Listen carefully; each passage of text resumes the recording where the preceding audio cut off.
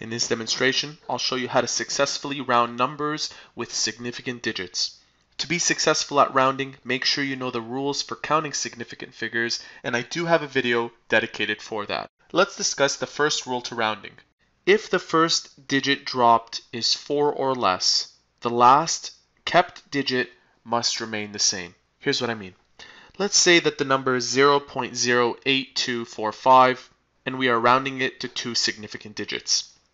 Now we know that this number in total has four significant digits. Now to two significant digits, it would go up to here.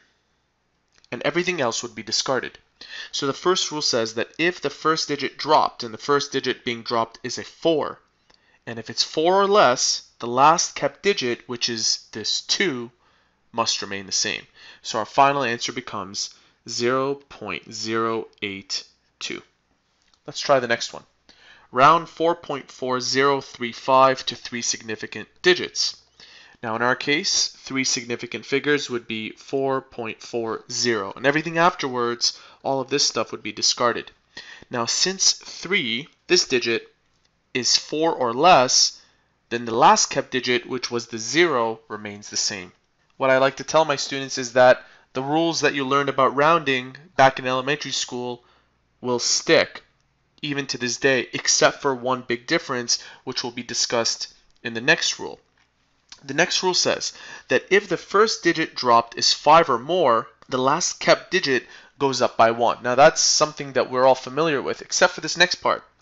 However, if the last kept digit is even, and it's followed by a 5 and only a 5, the last kept number remains the same. Here's what I mean. Let's take, for example, the number 24.45, and we want to round this to three significant figures. So everything after this second 4 will go away.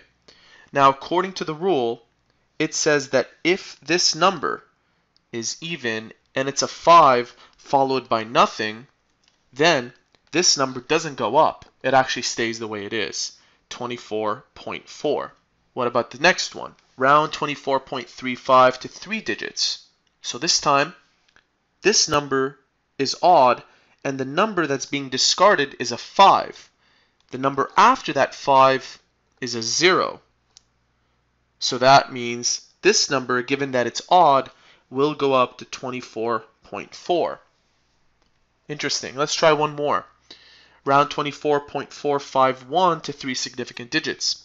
This time, the 5 and the 1 will be discarded. Now because there's a 1 after the 5 and it's not a 0, then you're going to follow the normal rules. The rule says that if the first digit dropped is 5 or more, you go up by 1. So you end up with 24.5. This goes up. Let's do some questions. The first question reads, round 34.5736 to three significant figures three significant figures would lead up to here, and everything after that 5, such as the 7, 3, and 6, will go away. Now, since the first discarded digit, that 7, is greater than 5, the first kept digit, the 5, will go up by 1. So you end up with 34.6. And lastly, the question reads round 3.0025 to four significant figures four significant figures would lead up to this 2. And the first discarded digit is a 5, and that number is a 2, and given that this 5 has nothing after it, that even number means that your answer will remain at 3.002. So there you have it.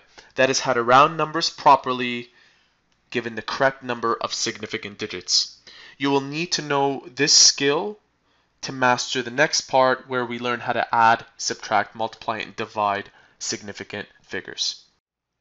If you found this tutorial helpful, please support our channel by subscribing or by liking this video.